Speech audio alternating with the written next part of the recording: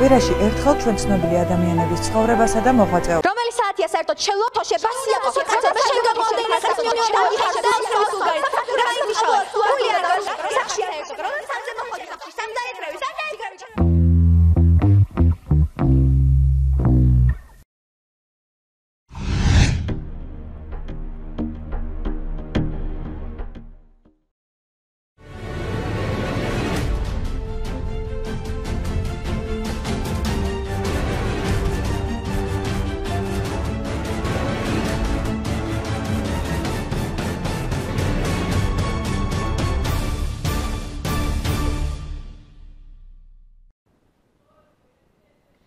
დავრუნდით პირდაპირ ეთერში, როგორც დაგპირდით მეორე ნაწილის თავისუფალი სივრცის ჩვენ ფრენბურთს დაუთმობთ. გასულ კვირას გორელმა ხელბურთელებმა საქართველოს პირველობაზე მეორე ფრენბურთელებმა მე უკაცრავად მეორე ადგილი დაიკავეს. ეს ისტორიული შედეგი იყო გორის ისტორიაში სწორედ ამ თემაზე სასაუბროთ ჩვენ გუნდის თავარი მწვრთნელი კალბატონი თინა ფსუტური გუნდის კაპიტანი ოთარ კურტანიძე და გორის შოთა ჩოჩიშვილის სახელობის ცენტრალური სასპორტო სკოლის დირექტორის მოადგილე გიორგი ნასხუდაშვილი მოვიწვიეთ მადლობა მოგზანებისთვის გილოცავთ ისტორიულ შედეგს ყველა ვამაყობთ ამ შედეგით პირველი კითხვა ასეთ მინდა დაგისვათ კალბატონო თინა ვიცით რომ 4 წელია თქვენი ძალისხმევით მოხდა გუნდის ჩამოყალიბება და ვარჯიშის დაწყება. ამ ისტორიის გახსენება მინდა გთხოვოთ და ჩვენს მაყურებელს გააცნოთ ის რთული პირობები რომელშიც თავიდან და მე მგონი ახლაც გიწევთ ასე ვთქვათ ვარჯიში და მოღვაწეობა. კი ბატონო მოგახსენებთ. პირველ რიგში მოგესალმებით. დიდ მადლობას გიხდით რომ დაგპატიჟეთ დიას ტელეკომპანიის სტუდიაში და მოგვეცა შანსი რომ მოგვეყოლა და ასევე პოპულარიზაცია გავუწიოთ ამ ჩვენ სპორტის სახეობას, რომელიც წლების განმავლობაში საერთოდ არანაირი გასახანი არ ქონდა ამ სპორტის სახეობას და ვიწყებდით ფაქტურად ნულიდან. მოგახსენებთ, რომ აი 2008 წლის ომის მერე, ну აბსოლუტურად აი ესე მოხდა, სპონტანურად ბავშვები თამაშობდნენ ძიუდოს მოედნის მოედანი კი არ კომბინატში. კი მანდ მოედანი იყო და გაბმული ჰქონდათ უბრალოდ ბადე და ბავშვები ერთობოდნენ. გავიარე და მაინტერესდა ვინ არიან იციან თუ არა თამაში და ესე ნელ-ნელა ნელ-ნელა რატომღაც ნუ ყოველ დღე დავიწყეთ მანდ ვარჯიში მთავარია რომ წვიმა არ ყოფილიყო და ქარიშხალი არ ყოფილიყო. კი და ბურთები ძალიან ცვდებოდა ნუ არ ვარგოდა მოედანი და ესე ასფალტის საფარია ხო? თქილი გაუბედურებული და ესე გასკდებოდა ბურთი შევაგროვებდით იმ კაპიკებს ვიყიდით იმ ოცლარიან ბურთს ეხლა კიდე და ესე ნელ-ნელა მოვედით ნუ 2012 წელს ალბათ ბატონ გიორგისაც ახსოვს ჩატარდა შიდა ქართლის დიახ ჩემპიონატი ჯერ თავიდან ჩატარდა გორის რაიონის გუნდებში სკოლაში ხო კი ეგ თამაშები მან მოვიგეთ ამ ჩემი გუნდით ბიჭები მყავდა უკვე ნუ უფროსები მან დასახს არ აქონდა არანაირი მნიშვნელობა და მე თვითონ შიდა ქართლის ანუ კასპი, ხაშური, გორის, ქარელის და გორის გუნდი თუ გავსოთ გია მამაცაშვილმაც წარმოადგინა ხელბურთელების გუნდით შეკრა ფრენბურთი და არ მიგვის ბატონი გია და მე ასეთ კრეატიული გადაწყვეტილებები ყოველთვის იგი ზუსტად ფინალში მაგათ შევეჯახეთ და ჩემ ბიჭებმა მოუგეს. და ნუ ეხლაც მიდევს ის დიდი თასი პიანინოზე სახში. ხო და ნუ იმის მერე გაუკვირდათ გეტყვით რომ აი ჩვენი ვინც არის ახლა ფრენბურთის პრეზიდენტი ფედერაციის ბატონი ირაკლი ჩაჩუა ეგ მსაჯობდა მაგ ფინალურ თამაშს და ძალიან გაუკვირდა რომ თურმე გორში გქონიათ ყოლიათ ისეთი ბიჭები და გუნდი რომ თამაშის წესებით თამაშობთო სადაც არ ჩაგვიტარებიან ნებისმიერ რაიონშიო არიცოდნენ არანაირად თანამედროვე ფრენბურთის წესები. ძალიან გაუკვირდა და დიდი მადლობა გადაგვიხადა. და ალბათ თუ იქნებ შექმნათო სექცია. ნუ მოგეხსენებათ რომ 2012 წელს თავრობაში შეიცვალა ყველაფერი და მოვიდა ოცნების გუნდი და ნუ აუცილებლად უნდა ვთქვა რომ ძალიან დამეხმარნენ. ქალბატონი თეეკე ჩხუაშვილი მოგეხსენებათ მუნიციპალიტეტში სპორტის იმ სახეებს. დიახ, უფროსი არის და დამეხმარა აუცილებლად ნუ რომ რამდენჯერმე რომ მივედი და თვითონ მითხრა მე აუცილებლად შევქმნით ამ სექციას სპორტ სკოლის ბაზაზე და ბატონი გიორგიც ძალიან გვერდში მიდგას ის 4-ვე წელიწადი. ალბათ რა ვიცი არ მასავშვები ახლა არ გამომივიდეს რომ ხო მაგრამ თუ რამე მიჭირს ეგრევე გიორგი გიორგი რა არის თინა? გიორგი და თუ რაღაცა არის აუცილებლად ყველაფერში მეხმარებიან რა ეგ მინდა რა დავამატო. ახლა ფაქტურად იყო ისე, რომ მასალა იყო, აი ეს საფრენბუთო გუნდის მასალა იყო, მაგრამ იკარგებოდა. და თვითონ კარბატონთინა თამაშობდა მათთან ერთად. იმ კომბინატის დასახლებაში რო არის რა. ხო და იქიდან წამოვიდა ეს ყველაფერი. და ინენენა ნენენა და უკვე ეს შედეგს მიაღწია. აა ასე ვილა კითხოთ ბატონო გიორგი, გორის ისტორიაში ასეთ შედეგი არ ყოფილა. არა, არა ყოფილა და მე რაც ვიცი ახლა ნუ თვითონ ისტორია ეს ფრენბურთისა და ეს იყო გოგონების გუნდი არსებული იყო ძალიან ძლიერი უნივერსიტეტის ბაზაზე კი და ძალიან ძლიერი გუნდი იყო სხვათა შორის. საბჭოთა კავშირის მასშტაბებით. მას შემდეგ არა ეს ფრენბურთის თემა საერთოდ იყო ჩავარდა.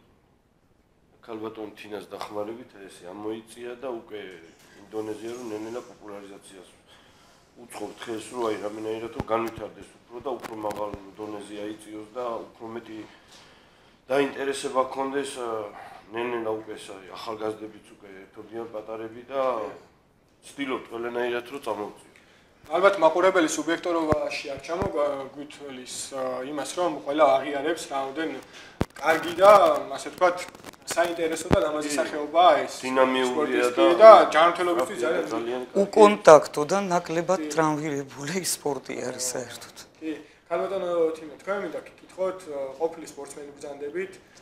აი პარალელი რომ გავავლოთ რა იყო თქვენ დროს და რა სიტუაცია ახლა? როგორც ვიცით ანუ ცუდი რეალობა ასე თუ ისე იმიტომ რომ არც თუ ისე პოპულარული სახეობაა დღეს საქართველოში ეს კი, მე ისიც აუცილებლად უნდა ვთქვა, რომ ერთ-ერთი ყველაზე რთული სახეობაა მაინც. თამაშებში ძალიან ბევრი წესი აქვს და ეს სამდენი წლები ჩავარდნა რო იყო ფრენბურთის. საერთოდ საქართველოს მასშტაბით ბევრად ნაკლები ყურადღება ექცევა ფრენბურთს, ვიდრე სხვა სპორტის სახეობებს. ეხლა იცით, რომ ოლიმპიადაზე იცით, რომ უფრო ჯუდო ეს ჭიდაობა სხვადასხვა სახეობებით უფრო ვიგებთ და ოლიმპიური ისინი გვაქვს შედეგები ძალიან კარგი, მაგრამ ფრენბურთი საბჭოთა კავშირის დროსაც ვერ ვიტყვი, რომ საქართველოს ნაკრები ყოფილიყო ძალიან ისეთი როლი ქონებოდა სოფლიოში და ეხლაც მაინც ბევრად ნაკლები ყურადღება ექცევა და კარგი იქნებოდა რომ ცოტა მეტი ყურადღება მიექცეს, იმიტომ რომ ძალიან ლამაზი სპორტის სახეობაა, როგორც გოგონებისთვის, ისე ბიჭებისთვის. სიმაღლე, ტანადობა, აი ლამაზი ისე არის. კი და ვინდა რომ თქო ჯანმრთელობა რა, ცუდი არაფერი არ არის მაგაში პირიქით. კარგის მეტი რა უნდა ვთქვა ფრენბურგზე. და ძა კარგი იქნებოდა რომ უფრო კარგი ყურადღება ექცეოდეს და მაგალითად ეხლა თუ ვარჯიშობთ მარტო ბიჭების გუნდი მყავს, კარგი იქნებოდა რომ გოგონებსაც ვავარჯიშებდეთ და გოგოების გუნდის. კი, დაინტერესება მეტი იყოს, იმიტომ რომ ნუ არ ვიცი, ალბათ მოგეხსენებათ, მე ახლა სკოლაშიც ვასწავლი და ვხედავ, რომ ეს ბოლო წლები, ნუ აი გოგონებს საერთოდ არ ვიცი, ძალიან დაუქვეითდათ ფიზკულტურისადმი ინტერესი. ჩვენ ახალგაზრდობაში მართლა ეგრე არისო. უფრო რაღაც, რა ვიცი, ნუ რაღაცნაირები გახდნენ და იმიტომ რაღაც აი თქვენი ტელევიზიაც და ნებისმიერ მედიის საშუალებით გინდაც სხვადასხვა შეჯიბრების ჩატარება, ეხლა ძალიან კარგია რომ ჭალაში აშენდება ეს ამხელა სპორტის სასახლე. თავის თვალით რომ დაინახავენ ევროპის ჩემპიონატს, გინდაც სოფლიოს ეგეთ სათამაშო ისინი რომ ჩატარდება იქ ხო ანუ ეს სახეობების შეჯიბრები მე მგონი რომ ძალიან პოპულარული გახდება ეს სახეობაც. ჩვენ ზუსტად მაგას ვთილობთ კიდევ ერთხელ ვიმეორებ მე რომ ძალიან მნიშვნელოვანია მედიის დახმარება ნებისმიერი სფეროს დახმარება ასეთი ასე თქვა არაპოპულარული სპორტული სახეობის წამოწევისთვის და მე ვიმედოვნებ რომ ანუ ეს თქვენი ასეთი ისტორიული გამარჯობა წინაპირობა იქნება იმისა რომ კიდევ უფრო პოპულარული იყოს მომავალში სპორტის ეს სახეობა. ახლა კონკრეტულად მინდა გკითხოთ იმ ტურნირზე გვესაუბროთ რომელშიც თქვენი ისტორიული შედეგი დაერთ. კი ბატონო, კარგი იქნებოდა პირველი ადგილი, მაგრამ ვერცხლიც დიდი გადადგმული წინ ნაბიჯი არის, მე ეგრე ვფიქრობ, კი. ну, ყოველ წელს სტარდება სხვადასხვა ასაკობრივ ჯგუფებში ჩემპიონატები საქართველოსი და ეხლა დეკემბრის 7 რიცხვიდან 10 რიცხვის ჩათვლით ჩატარდა საქართველოს ჩემპიონატი 2001-2002 წლებში დაბადებულ ვაშთა შორის ქალაქ თბილისში მოგეხსენებათ რომ თბილისში არის დიღომში ოლიმპიური სოფელი სადაც არის ძალიან ლამაზი ფრენბურთის არენა და მაგ დარბაზში მოგვიწია ესე იგი ამ შეჯიბრის ჩატარებამ და შვიდი გუნდი იყო მთელი საქართველოს მასშტაბით. ხედავთ რომ ბევრი მაინც არ არის, იმიტომ რომ არ არის მაინც ისეთი პოპულარული დიახ სახეობა კი. ყოფილა მაგალითად შარშანაც შარშანწინო ყოფილი ვართ 8 გუნდით, ეხლა რატომღაც ნუ 7. არა უშავს ორ ჯგუფად იყო დაყოფილი და ну მაინც უნდა ვთქვა რომ კენჭის ღრის შედეგად მაინც მე ვფიქრობ რომ ძალიან კარგი იყო რომ სამ გუნდიან ჯგუფში მოვხდით. ანუ მოგვიწია ორი თამაშის ჩატარება. ორივე თამაში მოვიგეთ. პირველი თამაში იყო ქალაქ რუსთავის გუნდთან, მეორე თამაში იყო ქუთაისის გუნდთან და ორივე თამაში ანგარიშ 2:0 მოვიგეთ. ანუ დავიკავეთ ჯგუფში პირველი ადგილი და ნახევარფინალში მოგვიწია მეორე ადგილზე, ანუ ჯვარედინად ხდება. კი და მეორე ადგილზე გავიდა იქ ბათუმის ქალაქის გუნდი და მაგათაც მოუგეთ ოღონდ საკმაოდ მძიმე თამაში იყო. პირველი პარტია წავაგეთ და ორი მომდევნო მოვიგეთ და 2-1 მოვიგეთ. როგორც ვიცი ქუთაისი და ბათუმი ზუსტად ის კარგი გუნდებია რომელიც უნდა გამოყოთ სიცოცხლე დიახ იმიტომ რომ ბათუმსაც პრეტენზია ჰქონდა პირველობაზე და ქუთაისმა კი პირველ თამაშს ჩვენთან წააგო მაგრამ ეთქობ თან დაიღალნენ ძალიან ეს ჩემი ბიჭები ნახევარფინალში ბათუმთან აი ამ ბრძოლის შედეგად. და უფრო ალბათ კიდე იცით რა რახანს პირველ თამაში მოუგეთ ჯგუფში. ცოტა ხო ნუ გაუჭirdათ ეგონათ რომ ალბათ ადვილად მოიგებდნენ ნუ ვერ გამოვიდა. არა უშავს მაინც კარგი შედეგი ვაჩვენეთ მე ვფიქრობ და ფინალში წავაგეთ სამწუხაროდ წავაგეთ და ეხლა იმედი გვაქვს რომ მომავალში უკეთეს შედეგს აჩვენებენ კიდე ბიჭები გუნდის კაპიტანს მინდა ვკითხო, ოთარ, შენ როგორ შეაფასებდი თვითონ ტურნირს? რამდენად ძლიერი ტურნირი იყო, რამდენად კარგი გუნდები იყო და თქვენ გამოსვლას რამდენად კარგად შეაფასებ, როგორც გუნდის კაპიტანი? როგორც ანუ ჩვენ გამოსვლას შევაფასებ დიდად, იმიტომ რომ არ გვაქვს ის შესაძლებლობა, რაც როგორც ვანახეთ ეხა ეს ტურნირი. საკმაოდ კარგი გუნდები იყო ქუთაისი და ბათუმი. საჩხერეც. საჩხერეც. დიახ. მაგრამ ჩვენ ბოლომდე ვიბრძოლეთ, არ დავეცით და გავედით მეორე ადგილს. გუნდური თამაშია, ყველას მოეხსენება და საინტერესოა შენი თანაგუნდელების გარჯას როგორ შეაფასე, რამდენად კარგი თამაშია ჩვენეს მათ ტურნირში. ერთ სვიტყვი გიორგი, სანამ ოთარის კითხავი. ხლა რა არის? ჩვენთან ნემწუთში არ არის ის სტანდარტების დარბაზი, სადაც შეიძლება რომ ამათი ვარჯიშონ. ეს არა მარტო დარბაზის უქონლობის გამო, ხო, გვიწევს ქირავნობა. მეათე სკოლაში გვაქვს დარბაზი დაქირავებული და იქ ვარჯიშობენ, რა, რომ ღიაცის ქვეშ ვარ იყვნენ ბავშვები და აქტიურად ეს სამი წელიწადი უწევთ უკვე იმ დარბაში ვარჯიში. რო იყოს ხო იმ მაღალი სტანდარტების რაც არის ევრო სტანდარტების დარბაზი და იმ დარბაში რო ივარჯიშო ბიჭებმა ხო უკვე იქ ხანაირად მაინც ხანაირ ვარჯიშები ჩატარდება. ხო ვარჯიშები ჩატარდება უფრო მიჩვეულები იქნებიან რა. ხო ადაპტაციასაც უფრო მაგარი არის ახლა ბათუმს და ქუთაისს აქვს ამისი ფუნება და აქვს ეს დარბაზი სადაც ვარჯიშობენ. თბილისში იმდენად არ აქვს ახლა ერთი დარბაზი აქვს და ამდენი გუნდი ყავს. ბათუმს ერთი გუნდი ყავ, ქუთაისს ერთი გუნდი ყავ და აქედან გავი თან კიდე რა არის ხლა მარტო ეს დარბაში ფრენბურთი არ არის. სეზონურად მაგათ აქვს ხოლმე პლაჟის ხელი ის ფრენბურთი ბუდიში. საპლაჟო იქაც ძალიან ძლიერი გუნდები ყავს ხათაშორის ორივეს ქუთაისსაც და ბათუმს დიახ. გასაგებია დღევანდელ სიტუაციაზე რა სიტყვით ხალხო და ზუსტად ისაუბრა რთულ პირობებზე. ფაქტურად ისაუბრა უკვე ბატონ გიორგიმ და ვეთანხმები და უბრალოდ მომავლის იმედი გვაქვს. თუ იმ წელს კიდე ხო, ეხლა იმედი რა თქმა უნდა გვაქვს იმისი, რომ ეს ახალი სპორტის სასახლეობა შენდება.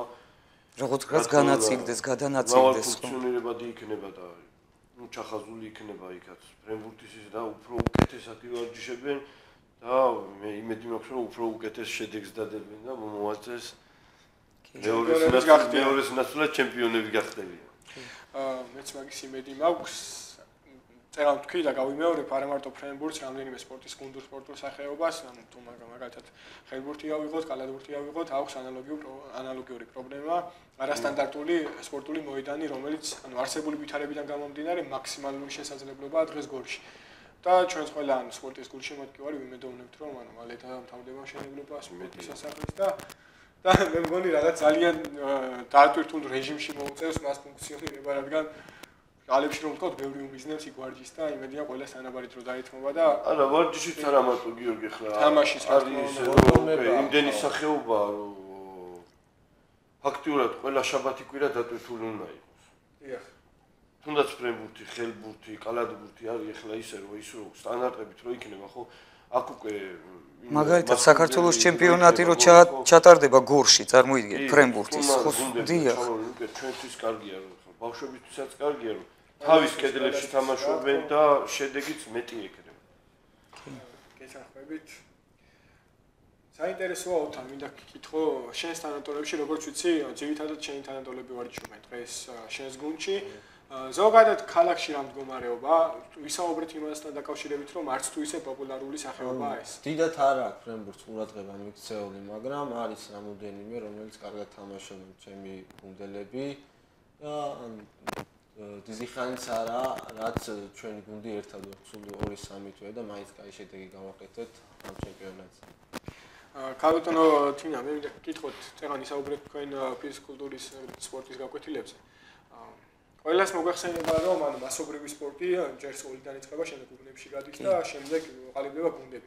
რამდენად მნიშვნელოვანია და ფუნდამენტურია ეს ზუსტად, რომ უფრო გააქტიურდეს, ასე ვთქვათ, სპორტის გაკვეთილები, ეს სახეობა უფრო მეტად მოთხოვნადი გახდეს და უფრო მეტად ჩაერთონ ახალგაზრდები, რადგან არა მარტო ყოველთვის ვიზახით იმას, არა აქვს მნიშვნელობა შედეგს, თავარია იყოს ჯანმრთელი თაობაა და ჯანსაღი ცხოვრების პოპულარიზაცია ჩვენს ქალაქში და ქვეყანაში. Ну მე იმასაც ვერ ვიტყვი ყოველ წელს ყველანაირ სახეობაში სპორტში სკოლებს შორის ტარდება ეგ შეჯიბრი სხვა კალათბურთში, ხელბურთში, ფრენბურთში კი მაგრამ აი ფრენბურთზე რაც შეიძლება ვთქვა სამი ძირითადი სკოლა არის მთელ ქალაქში რომელშიც ეს პოპულარული არის ეს სპორტი ეს არის მე-7 სკოლა, მე-10 სკოლა და ძალაუნებრივად მე-6 სკოლა სადაც მე თვითონ მუშაობ კი დანარჩენ სკოლებში არ ვიცი, არ ეკცევა ვერ ვიტყვი, მაგრამ ცოტა ჩამორჩა აი ეს ახალი წესები ძალიან ბევრია და არასწავლიან, ну, რა ვიცი, რატომღაც რა ისევ და ისევ რო არ არის ეს პოპულარული სახეობა, არც იციან თვითონ ლინუს ეთო. ამას მე დავამატებდი, რომ ვიცი, ანუ ქონია შეხება, ნაკლები განათლება თვითონ სპორტის მასწავლებლების. რადგან არ ხდება მათი გადამზადება როგორც სხვა საგნებში. კი. ეს ჩემს ძალიან მნიშვნელოვანია თუ რამდენად განათლებული და პროფესიონალია ესე თუ სპორტის მასწავლებელი. ხშირად ნებისმიერი სპორტის მასწავლებელი მხოლოდ ერთი რაღაც სახეობის გარკვეული ისიც ხო მეტწილად და ის დანარჩენები ისე ძალიან არ აინტერესებთ და საერთოდ უნდა იყოს კი განიშნა ტრენინგებიც ყველაფერი რომ უფრო აიმაღლონეს კვალიფიკაცია რა ვქნა და ერთი ის არის სიტუაცია. ბატონო გიორგი, რითი ეხმარება სასპორტო სკოლა სპორტის ამსახეობას? ფაქტიურად ყველაფრით ეხმარებით და მხარში უდგევართ. ყველაფრით წელს პირველად დაჟე საპლიაჟო ფრენბურთზე გაგვიშვეს ბათუმში. მართალია დიდი შედეგი არ ვაჩვენეთ, მაგრამ გორელებმა ქვიშაზე ითამაშეს ფეხშველა ფეხებით. კი. ესეც ისტორია. ეგეც ისტორიული, არასდროს არ ყოფილა გორელი საპლიაჟო ფრენბურთზე გასული. გორს არასდროს პლაჟის ფრენბურთში მონაწილეობა და დარბაში ნავარჯიშებლები მოე მაზე მზეზე აღმოჩნდნენ სხვა განზომილებები. დიახ, სუსვანერი შეგრძნება. ძალიან კარგი სანახავია სხვათა შორის პლაჟის დიახ, ფრენბურთი. ძალიან დინამიურია და ისედაც საცხერათაც ეფექტურია ძალიან. მაგაზე გქონდა ბჭობა რომ რა ფიქრობდით რომ გორში გვინდოდა გაკვეთე გაგვიკეთებინა მოედანი არის საშუალება იმისი რომ გაკეთდეს არ არის აუცილებელი ზღვა. რა არის იცი მარტო ფრენბურთსაც არა სხვათა შორის ხელბურთსაც აღდგება ის მოედანი შეიძლება ამის გაკეთება არ წარმოადგენს დიდ პრობლემას.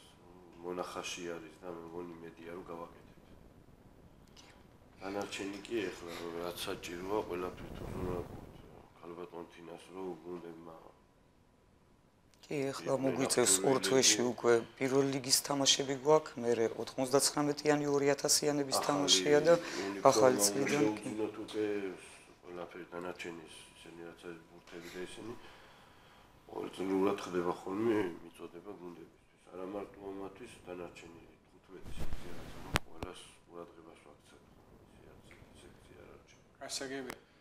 ძალიან კარგია კიდე და კარგი ტენდენცია ის რომ აი აღნიშნეთ კალბატონოთინა სხვა ტურნირები რომელშიც საქართველოს ჩემპიონატი თუნდაც ასაკობრივი ჩემპიონატები რომელშიც გიწევთ ასპარეზო.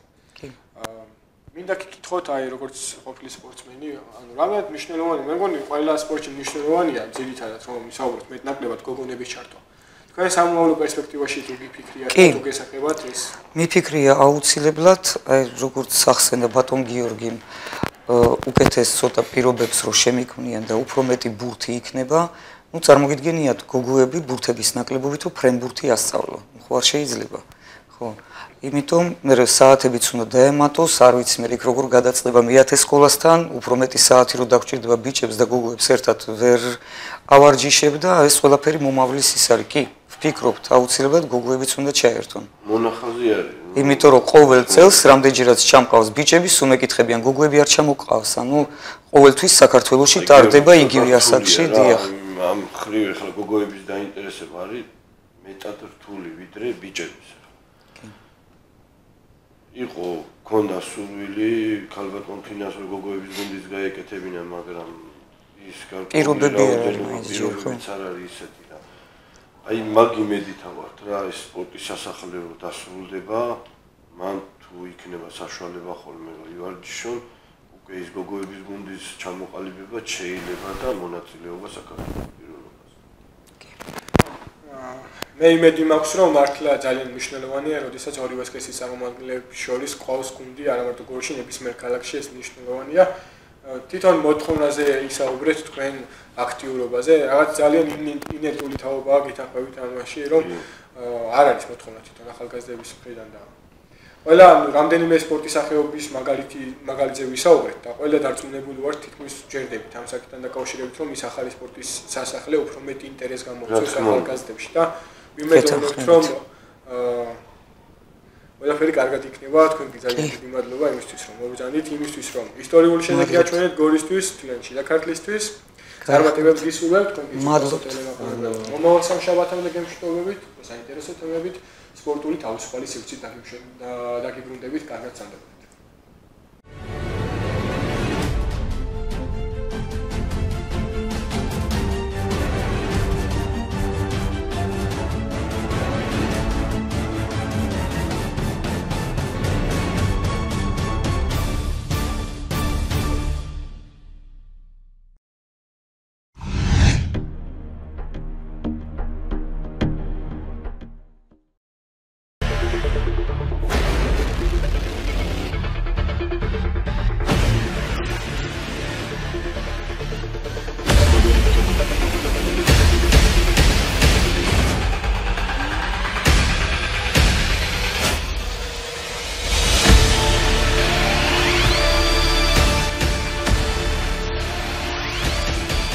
ჩემო ძვირფასო გორელებო 24 დეკემბერს თქვენი მონამორჩილი პაატა